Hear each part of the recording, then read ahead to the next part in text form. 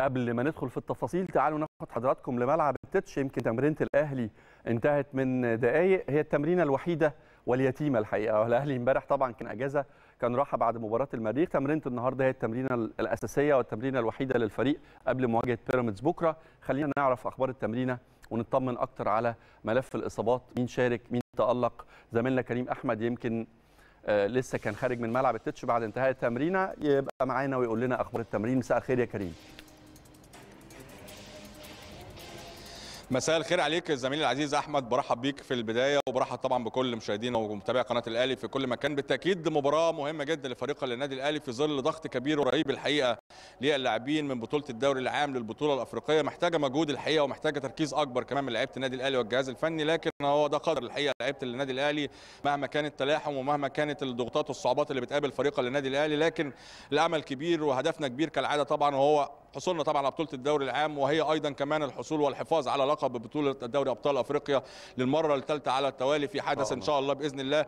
ما يقدرش يحققه غير للنادي الأهلي. بشكل عام طبعا للنادي الأهلي النهارده وتدريبه والتدريب الوحيد لفريق النادي الأهلي. أنت عارف زميلي أحمد تدريب وحيد راحة طبعا عفوا 24 ساعة وتدريب وحيد لفريق النادي الأهلي ومنها إلى معسكر مغلق استعدادا لمباراة بيراميدز ومنها إن شاء الله سفر إلى جنوب أفريقيا للمشاركة طبعا في مباراة ماميلودي سان داونز بطل جنوب أفريقيا. النهارده طبعا بالتأكيد حالة اللاعبين التدريب بشكل عام الجهاز الفني كل الأمور دي الحقيقة كانت بالنسبة لبيتسو موسيماني كعادته طبعا محاضراته الفنية في البداية الأمور الخاصة بفريق بيراميدز. ويمكن الحقيقة بيتسو موسيماني شد من اللعيبة بشكل كبير جدا على هذا الأمر الفترة اللي جاية. مهمة جدا. مباراة بيراميدز مهمة جدا. أيضا كمان ضغط كبير جدا لفريق النادي الأهلي. فيا رب إن شاء الله بإذن الله التكاتف الكبير اللي شايفينه مع لعيبة النادي الأهلي ومع الجهاز الفني ومع التضحيات اللي بنعملها وبنشوفها إن شاء الله في المباريات وفي التدريبات تستمر سواء في مباراة بيراميدز كريم يمكن وإحنا بنتكلم معاك ظاهر على الشاشة كابتن ضياء السيد مدرب المنتخب الوطني اللي كان حاضر تمرينة النهارده. تكلمني عن أسباب الحضور واقف طبعا هو ظاهر دلوقتي مع قفشة ومع هاني أعتقد اللي مدينا ظهره. تكلمني كده عن حضور كابتن ضياء السيد وكان إيه الهدف منه وعمل إيه مع لعيبة النادي الأهلي؟ بالتأكيد طبعا يعني قبل انطلاق المران كان متواجد طبعا كابتن ضياء السيد متواجد. طبعا يمكن سلم على طبعا كل اللاعبين العلاقة الطيبة جدا بلعيبة النادي الأهلي ومدربي منتخبنا الوطني وتحديدا كمان كابتن ضياء. كان متواجد طبعا بشكل عام طبعا ومنها الاطمئنان على حالة اللاعبين لأن أنت عارف خلاص المرحلة مهمة جدا. الراجل بيحاول إن هو يكون متواجد سواء هنا في النادي الأهلي. المتابعة المستمرة والمعتادة زميلي أحمد طبعا من الجهاز الفني طبعا الخاص بمنتخبنا الوطني. الأمور طبعا بالنسبة للنادي الأهلي هو ضغط طبعا ما تقدرش إن أنت النهارده تبص على لعيب في تدريب النهارده بالنسبة للجهاز الفني لمنتخبنا الوطني لأن ما فيش ما أقدرش أقول إن في جرعة تدريبية قوية جدا أو في التحامات أو في أو في تقسيمة كبيرة جدا لأن المجهود كبير. يعني لسه كنا بنأكد وبنقول مباراة بيراميدز غدا أنت لسه هتلعب مباراة ثانية وهي مباراة السفر إلى سان داونز 8 ساعات ده مباراة ثانية ومجهود أكبر. فيمكن النهارده بشكل عام الراجل كان متواجد بيتابع اللاعبين. أحاديث طبعا جمعته سريعا مع بيتسو موسيماني الكابتن سيد عبد الحفيظ. الأمر المعتاد الحقيقة للكابتن ضياء السيد أو أيضا كمان مستر كيروش طبعا المدير الفني سواء بيكون متواجد في التدريبات أو بيتابع لعيبة النادي الأهلي في أي مباراة من بطولة الدوري العام.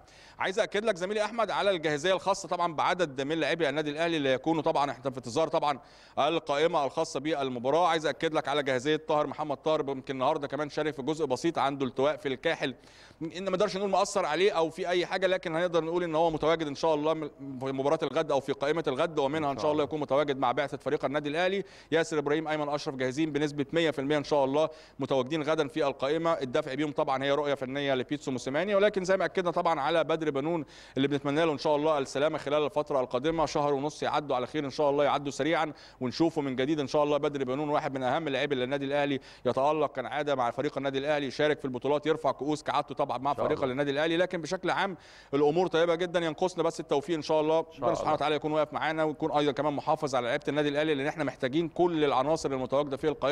لأن المباراة مهمة جدا ومنها إن شاء الله مباراة سان داونز المباراة الأهم اللي أكيد واخدة ذهن واخدة من ذهن طبعا الجهاز الفني وذهن اللاعبين لكن إن شاء الله الفصل يكون تام وكبير جدا في بطولة الدوري العام ولكل حدث حديث إن شاء الله في البطولة الأفريقية. نخلص من بكرة إن شاء الله بإذن الله وبعد كده نفتح ملف سان داونز ما أعتقدش إن اللعيبة بتفكر في سان داونز ولا الجهاز الفني خالص دلوقتي. كل تركيزهم على المباراة المهمة والصعبة بكرة في مواجهة بيراميدز سريعا جدا كريم شفت برضو لقطات النهارده عمار كان موجود في الملعب. يعني آه طبعا جايب الدعامه وماشي على عكازين نتمنى له السلامة. صلاح محسن كمان ظهر في الكادر. تكلمني عنهم الاثنين بسرعة.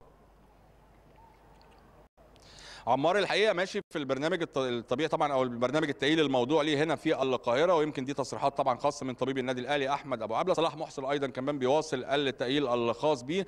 يعني إن شاء الله صلاح ممكن تكون عودته طبعا أقرب من عمار بشكل كبير جدا لكن البداية واضحة إن هي جيدة جدا مع عمار. يا رب إن شاء الله بإذن الله يعود من جديد سريعا مع فريق النادي الأهلي. المهم بس يمكن يمشي بشكل كويس جدا ويلتزم بالتعليمات. ويا رب إن شاء الله يحافظ على لعيبة النادي الأهلي وما يبقاش في أي عدد من الإصابات والقادم يكون أفضل إن شاء الله لفريق النادي كريم. كل الشكر ليك طبعا. بشكرك شكرا جزيلا. زميل العزيز كريم أحمد من ملعب تتش بعد دقائق من انتهاء آه، ميران الأهلي الوحيد والأخير قبل مواجهة بيراميدز بكرة. خلونا نروح لفاصل نرجع نتواصل مع حضراتكم في السادسة بعد الفاصل مباشرة.